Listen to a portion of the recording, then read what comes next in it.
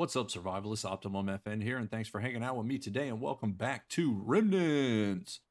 Back here with another quick guide for you. In today's video, I'm going to show you everything you need to know about the distillery. Now, if you guys have missed any of my previous guides, I'll link a playlist up in the top corner. Make sure to go and check it out. All right, so the distillery. You have to find this item out in the world. Uh, once you find this item, you can use a research kit or a recycle kit to learn how to craft this item. So let's get into how to craft the item and what it's going to take. All right, so the distillery is going to cost you 15 metal frags and 5 stone to craft the distillery. Now again, you can use a research kit or recycle kit to learn how to craft this. It is going to require a workbench to craft it. All right, so some of the items that you can currently use inside the distillery to smelt down and get items out of is the mash. The mash is going to give you your low grade fuel and oil shale. Oil shale is going to give you your low grade oil. Now, in order to create the mash, you are going to need sugarcane and yeast. Now, yeast is made with corn flour and sugar cane to make the yeast, and then you put the mash inside the distillery to get the low grade.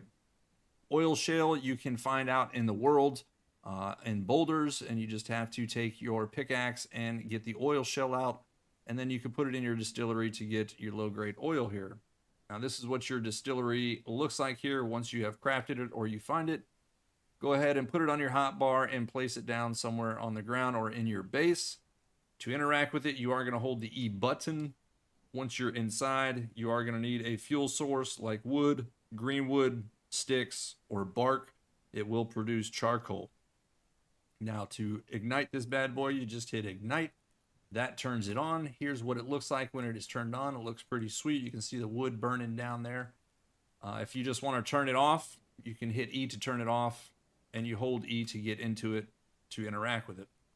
All right, so let's get into the items that you can smelt inside this distillery. Now you can take your mash once you've crafted it up and throw it in here and it's going to produce your low grade fuel here. Now it does take some time uh, to produce this. So give it some time, go do your thing, walk away and come back and you'll have your low grade fuel here. Another item that you can put in here is your oil shale that you get from the boulders using your pickaxe. Again, this does take some time give it time to smelt down and you are going to get low grade oil. So let's talk about what the low grade oil is used for.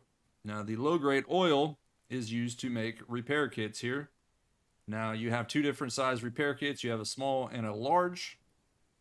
Now the items that you can use to make these is one oil, 10 metal frags, and 10 wood to make a small repair kit. To make a large repair kit, you need two oil, 20 frags, and 20 wood. Now you can make these items. You do need a research kit or a recycle kit to learn these.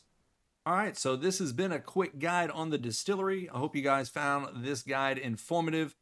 Please comment down below if you guys have any questions or feedback. I'd love to help you guys out as much as I can. Also, make sure you follow the link down below for my socials. Stay connected with the content that I put out daily. But as always, if you guys enjoyed today's video, make sure to hit that like button. Also, if you're new here, make sure to subscribe for more videos. And I thank you guys for watching. I'll catch you later. Until next time, take it easy.